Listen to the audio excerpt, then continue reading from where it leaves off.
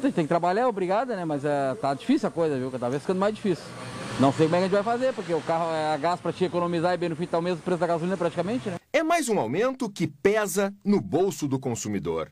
Os novos valores do gás natural veicular, o GNV, entraram em vigor na quinta-feira. O reajuste é de quase 40 centavos por metro cúbico. O debate para quem utiliza o produto nos carros e quer saber o custo-benefício na comparação com outros tipos de combustíveis já começou. Quanto mais tu rodar, antes o sistema se paga. E outra, diferença básica. Não tem uma conta mágica para saber, ok, quantos, porque nem é no álcool, né? Que a gente tem aquela conta de padaria que se o álcool tiver 70% do preço da gasolina, vale a pena. Não é bem assim no GNV, porque tem carros que fazem é, aceitam bem o GNV, então fazem uma quilometragem alta por metro cúbico, e tem carros que já não estão não, não tão uma, uma aceitação tão boa.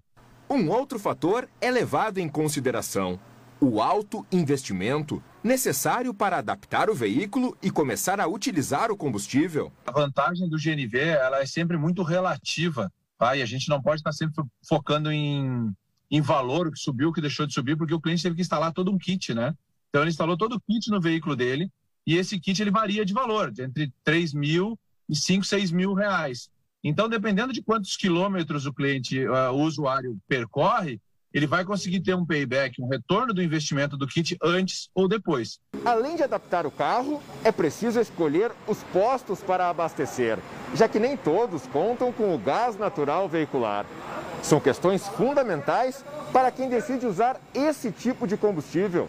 Se a opção for realmente o GNV, é preciso fazer as contas. O aumento do gás também foi aplicado em outros setores. Para o industrial, ele varia entre 16% e 23%, conforme a faixa de consumo.